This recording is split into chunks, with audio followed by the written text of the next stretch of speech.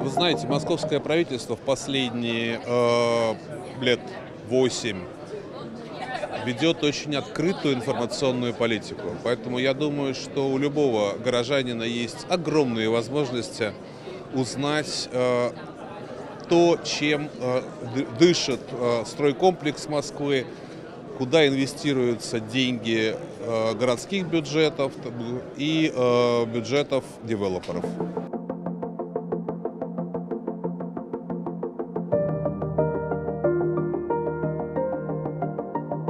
Знаете, я вообще за открытые границы. Это позволяет обмениваться компетенциями и, э, знаете, повышать э, вот такой вот э, градус, интеллектуальный градус жизни.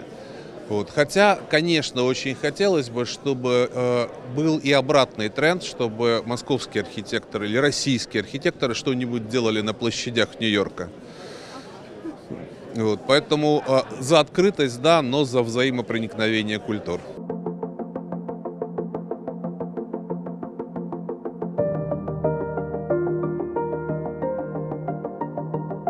Транспортная инфраструктура города – организм несколько э, более сложный, чем просто э, открыть, там, вновь открытые станции метро.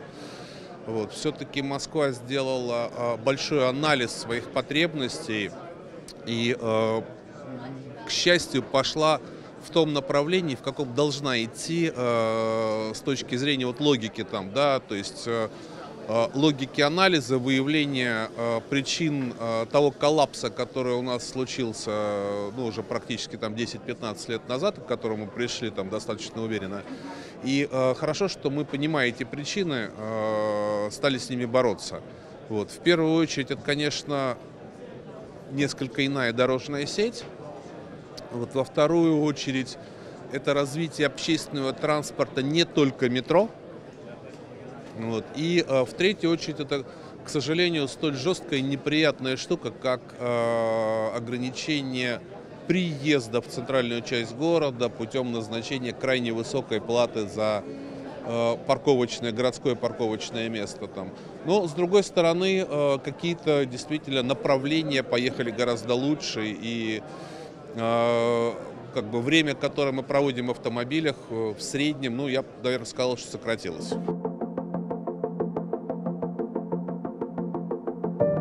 Знаете, у нас, э, к сожалению, э, Москва имеет крайне мощный э, антипиар ну, вместе со всей страной. То есть то, что мы видим, люди, которые посещают Москву, приезжают, например, на тот же чемпионат мира там, да, по футболу, или там, да, наши бизнес-партнеры, которые приезжают к нам на переговоры, они влюбляются в город, вот. А в то же время, когда ты предла- приглашаешь человека, который не был в Москве никогда, говоришь, вы приезжаете, вот первый вопрос, у вас не страшно? Да, можно приехать так вам, вот я должен надеть что, бронежилет, там, к чему я должен готовиться. Вот. Поэтому, к сожалению, мы черно-белые. Вот. Мы э, в глазах э, потенциального там, да, посетителя города из-за рубежа мы или очень страшные, или очень красивые.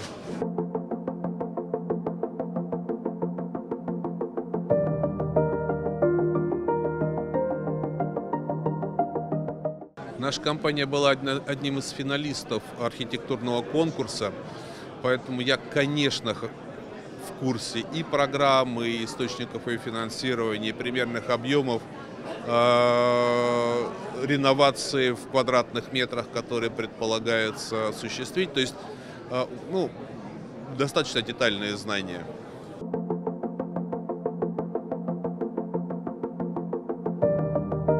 Ну, инвестиционная привлекательность Москвы, безусловно, э, вне э, конкуренции в России – вот. И местный бизнес, конечно, с большим удовольствием приходит в город, создает новые рабочие места, борется за место под солнцем, участвует в конкуренции.